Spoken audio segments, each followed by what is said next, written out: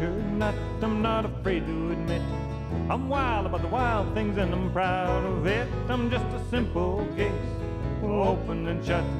No doubt about it, I'm a nature nut. Today we'll go bird watching. Tomorrow we'll catch toads. The next day we'll take photographs of bugs along the road. I never get the feeling that I'm in a rut. That's why I'm a nature nut. Well, I'm a nature nut. I'm not afraid to admit. I'm wild about the wild things and I'm proud of it. I'm just a simple case, open and shut. No doubt about it, I'm a nature nut. Today is Bird House Day, or Bird Box Day, as some people say, those who are picky about such things. We're going to explore the world of bird houses. But before we get started, I want to get clear on one thing. It's amazing how many people, completely rational adult people, don't know the difference between a bird house and a bird feeder. This is a bird feeder. You put seeds in it, the birds come to it, and they eat the seeds. It's like a restaurant. This is a bird house. It has a hole in the front. The bird goes in the hole, makes a nest, lays eggs, raises a family. It's like an apartment or a hotel. If we can keep that straight, we'll have a good time today exploring the world of bird houses. Now, I'm not a major league birdhouse kind of guy. I mean, I like them, but I haven't had a lot of birdhouses in my yard over the years. But I do have the fondest memories of a birdhouse that used to sit outside my bedroom window when I was growing up. And uh, it had house sparrows in it. No other birds, nothing more exciting than that, just house sparrows. But I really liked them. The female I called Fraggy, and no, the male I called Fraggy, and the female I called Maggie. And they would raise their little house sparrow chicks in there, and in the winter they'd tuck in there overnight and, and just use it as a little roost to sleep away from the cold. And I would wake up in the morning to the sounds of Fraggy and Maggie and the chicks just chirping away, and oh, it was, Kind of miss those days, but lucky thing is I've still got some photos left over. Here's a picture that a friend of mine took of Maggie sitting on top of that very birdhouse. Yeah, she was beautiful, wasn't she? And how about this? This is Fraggy, the male, feeding some of the chicks.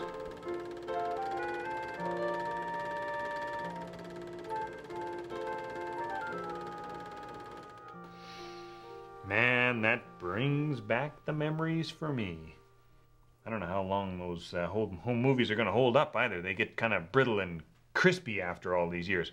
Anyway, let's go out, let's explore the world of bird houses. And uh, let I mean, there's lots of questions to answer. What kind of house attracts what kind of birds? Why do they nest in boxes anyway? I mean, don't birds make nests that look like little cereal bowls made out of grass and mud? Good question. Let's go find out. Now, you know, a lot of people, they're not quite satisfied just going to the store and buying a birdhouse. I mean, that's, that's just too easy. It's more fun to build your own. Me, I'm no great carpenter, but if I can build a birdhouse, so can you. I've got all the equipment ready. Safety goggles, you gotta think safety first. Hard hat, just in case anything falls out of the sky on me. You know, distant tornadoes can pick up things the size of fish and drop them miles away, so you never know what's gonna happen. I've got my carpentry apron. This is my granddad's old carpentry apron. Grampy Van, we called him. He was a dandy carpenter. He passed on none of those genes to me. Handmade by Auntie Corin. I feel, I feel good. I feel like nothing can go wrong. And I've got the most important tool, that pencil. Usually you keep these over your ear, but I'm going to use this today. Now, before you start any project like this, you need a plan. Plans are usually drawn out on things like uh, paper towels, napkins. So what we're going to do, we're not going to go, we're not going to start right off with a very complex uh, birdhouse, a project that requires great craftsmanship skills like this guy here. Oh, that's nice, but that's advanced. We're going to start with a basic birdhouse, a birdhouse that will be acceptable to bluebirds and swallows and house sparrows, but not to starlings. We'll make sure that this box is not acceptable to starlings because of its size and dimensions.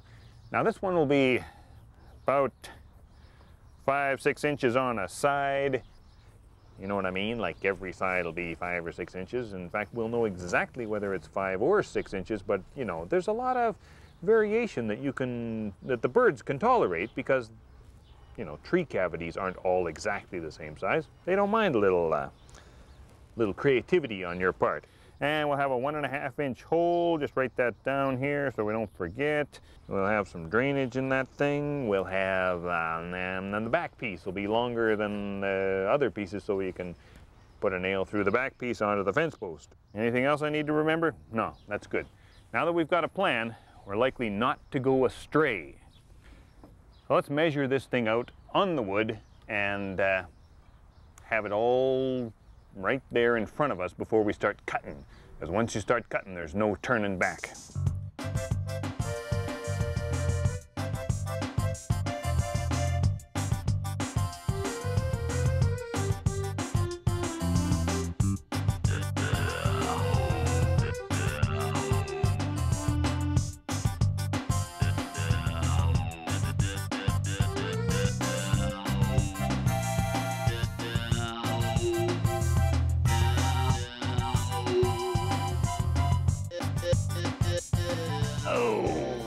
Doesn't that look good? Alrighty. Perfect. Very welcoming. I don't understand why birds would want to see the world through this kind of a perspective, but hey, that's their business. I'm happy about it. Now, the final phase, the nailing phase, where it all comes together and starts to look like a birdhouse. Hoo All right, let's do it.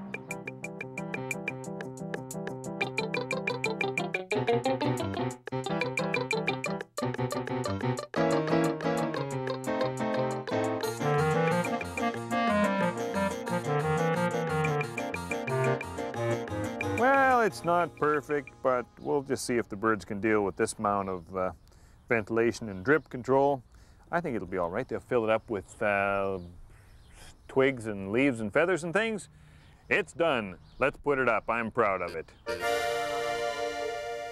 Birds are not the only critters that use nesting boxes, and you can now buy boxes for bats and for hibernating butterflies.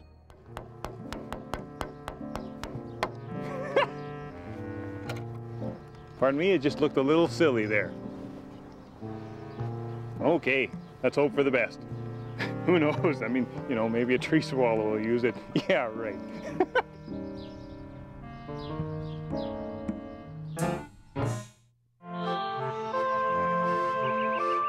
well, since birdhouse building is not a real natural talent for me, I've come out into the countryside where my friends Bob and Jan Carroll have some tremendous birdhouses going at their bed and breakfast place. This box behind me, that's the typical sort of uh, standard bluebird swallow box, and sometimes they do get mountain bluebirds in these boxes, but right now there are tree swallows looking at them and starting to collect little nest materials, and pretty soon they'll be laying their eggs. The tree swallow is one of the most desired birds in birdhouses because it's a beautiful bird, the male especially. Oh, so iridescent on the back and then beautiful white underneath.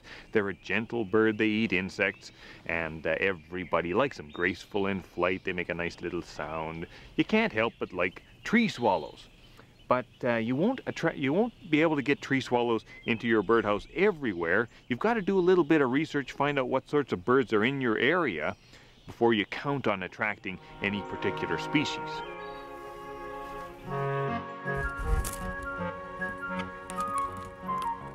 Uh, did you see that? This is the kind of thing that really bugs me about robins. You know, I've had two robin shelves on our house for a couple of years now, and the robins never touch them. Bob put up one little piece of wood here in his uh, in his workshop right above the workbench, and the robins are happy there. The male comes in, brings food, the female's feeding the chicks. It's a beautiful little scene. This just shows to Goya that robins, other birds, they don't think the way we think they should think. They think like birds, and there's nothing we can do about it. There's at least one wren calling in among all these other birds around here. This is the sort of box that wrens like, a deep box with a small hole. Chickadees will use them too. And most people like wrens. I mean, they're, they're a cute little bird. They a, have a bubbly, happy song, and they're kind of nifty, but they do have some irritating habits. Wrens will sometimes choose one box to uh, use for their nest and then fill all the other boxes in the area with sticks so that other birds can't use them. I'm talking house wrens, by the way, here, not winter wrens or Carolina wrens or Bewick's wrens or marsh wrens or sedge wrens, rock wrens or canyon wrens or even cactus wrens, house wrens, little woodpile skulkers. Neat birds. The biggest member of the swallow family is the purple martin, at least in North America, and it lives in the biggest member of the bird box family, the purple martin house. And these these swallows, they're, they're amazing because they live in little colonies and they don't mind living all together. So this is kind of an apartment complex for them. And they're, these houses are very, very, uh, they're complex, they're expensive, and uh, you know, a lot of people put up martin houses and then they don't get purple martins and they're upset about it. You have to do everything you possibly can to do it right. You get it up high on a post. You make sure there's nothing higher than the, the martin box in any direction for about, you know, 20 feet or uh, 7 meters or so. And it helps to be near some water and it helps to have a good supply of bugs flying around in the air for them to eat. They're, uh, they're real bug-eating birds, beautiful birds, but if you don't get the martins, well, uh, place will just fill up with house sparrows and that sort of thing. Most people keep the holes in the box plugged until the martins come back in the spring, pull the plugs out, and hope for the best. Some birds, such as kingfishers and bank swallows, nest in holes in the earth, not trees. Perhaps someone could design a nest box for them, too.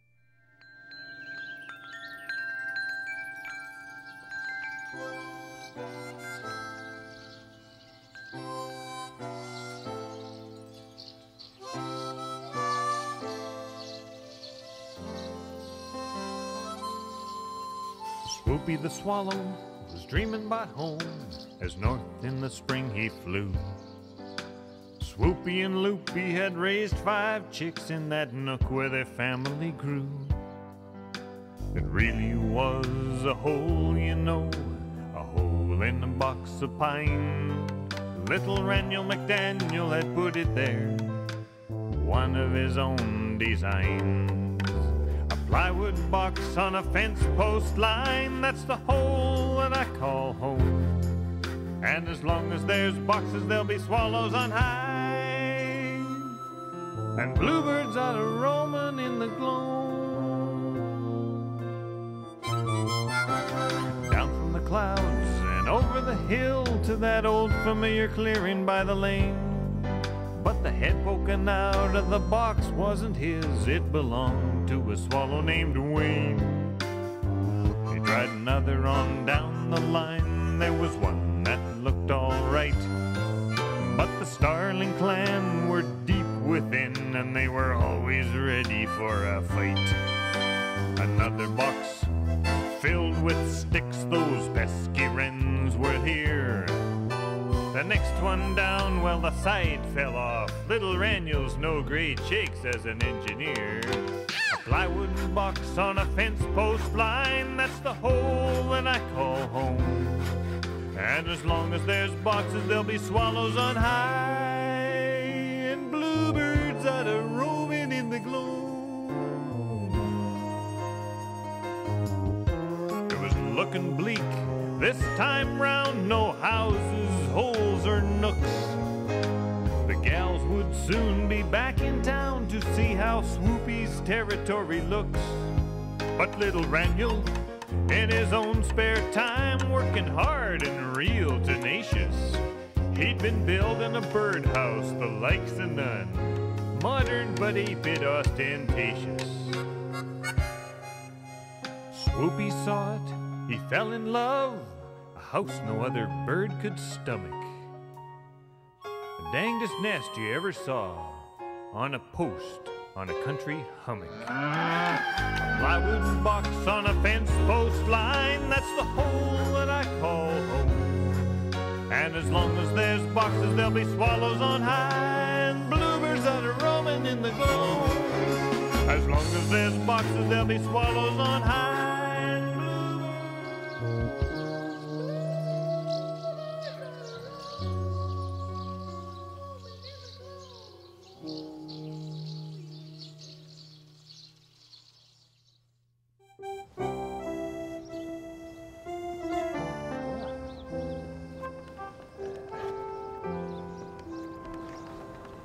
Granddad built this ladder, you know, every time I use it, I think to myself I should buy a better ladder, but I'm still quite attached to it. I live in a suburban neighborhood, and there's no way that I'm going to attract bluebirds or swallows. And the most common birds in my yard are definitely house sparrows. Now, I like house sparrows, I've told you that before, but a lot of people, they hate house sparrows, and I don't want to get on their bad side by promoting house sparrow nesting. See, the house sparrow is an introduced bird. It also competes with uh, some of the other birds. So I thought, why not try for the two species that I might be able to get, chickadees and robins. This box should be good for chickadees. I've had it up for about a year. I don't think anything's been using it. So hold on a sec, we'll have a look inside.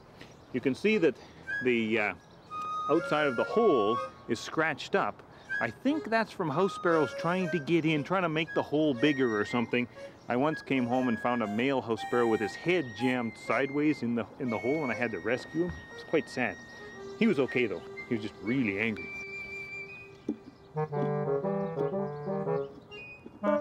It's a good idea to open up your nest boxes from time to time, clean them out. Don't do it when the birds have nests in there, of course. Yeah, let's see. Uh, just like I thought. There is nothing in there. Can you see in there? What do we got? Peanut shell, probably a blue jay tucked it in there thinking he could get it later. Ha!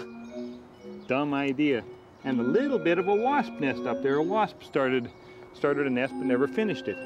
Yellow jacket wasp. Nope, it's not gonna work. What I'm gonna have to do, I'm gonna have to move this box and maybe fill it up a couple of inches deep with wood chips. That'll encourage the chickadees to, uh, to nest in. I'll put it in a pine or a spruce, see if they like it better there. So let's take it off the tree. And then I'll show you my robin shelf that I put up in the hopes of attracting robins to nest in the yard too. I'm so bad at this wood stuff. So embarrassing.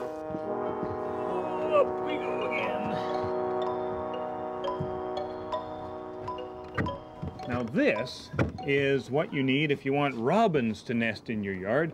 It's a robin shelf. It's not a cavity. It's just a shelf with a little roof over it. And I put one up on this side of the house and one up on the other side of the house and robins are not using them. They use the big spruce tree in the front of the yard instead. There's, there's some grass and some bird poop in here. The house sparrows have been using it as a place to roost, but the robins haven't been using it at all because if they had, there would be mud in there. Robins use mud to make their nest. So I'll just clean out this grass and I'm not going to move it. I'm just going to keep hoping for the best. Okay. Oh man, we're a mess. All right, and for the finishing touch, only found in the very best robin shelves. Here we go, a little more technology. Cleaner right out. Whoa, tornado!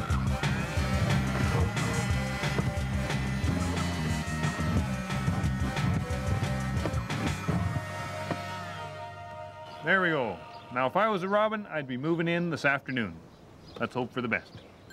Female hornbills cement themselves inside their tree cavity nests and rely on the male to pass food through a small hole until the young are ready to fly.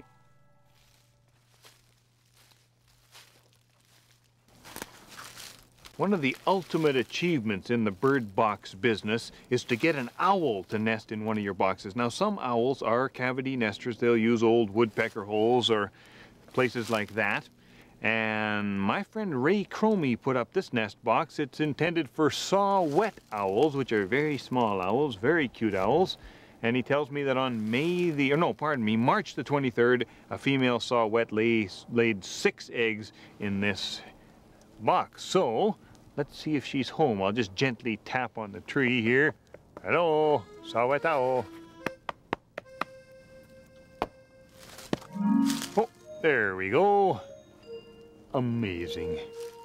So she's just gonna look out at us.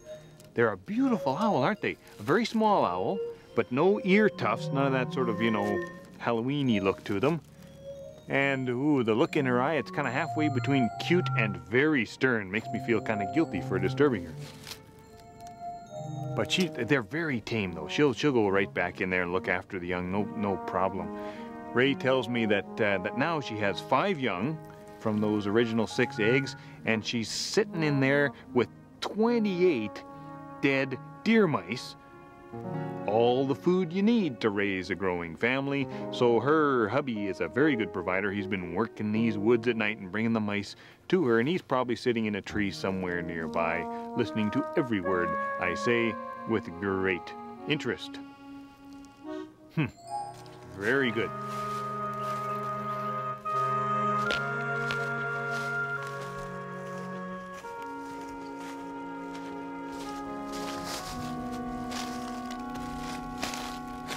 Now, if owls are the... Ooh, you hear that? That's good. I was going to say, if owls are the ultimate bird to get in a bird box, the ultimate owl is the barred owl. This is another one of Ray Cromie's bird boxes. That's got to be the male, and hopefully the female is in the box here. So we'll just... Hello? Oh, oh, she's in there for sure. That's good. This is a big owl.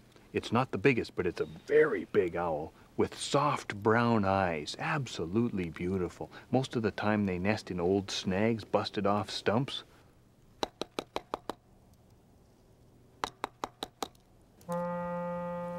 Oh, there she goes. There she goes. Do you see that? Hmm. Hmm. Oh, but wait, there's the, um, there's the male over there. Now, isn't that a neat bird? We won't stay long. I just wanted to show you this.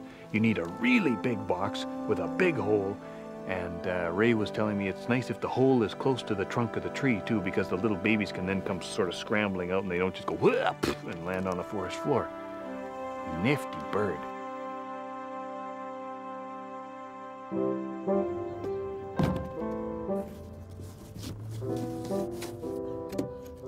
I'm just doing a bit of an experiment here. And my conclusion so far is that it's probably not that bad living in a birdhouse.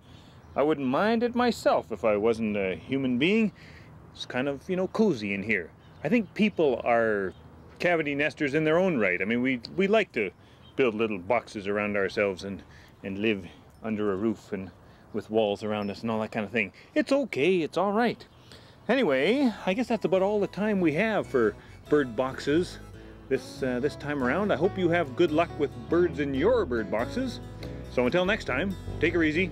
I'm a nature nut, and I hope you are too. You know, this makes me feel just like an owl, you know, looking around other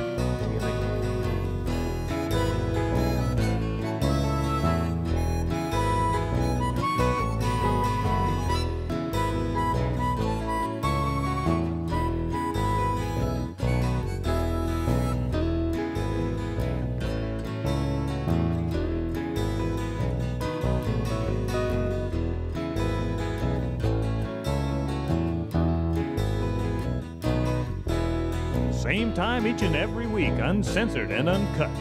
No doubt about it, I'm a nature nut.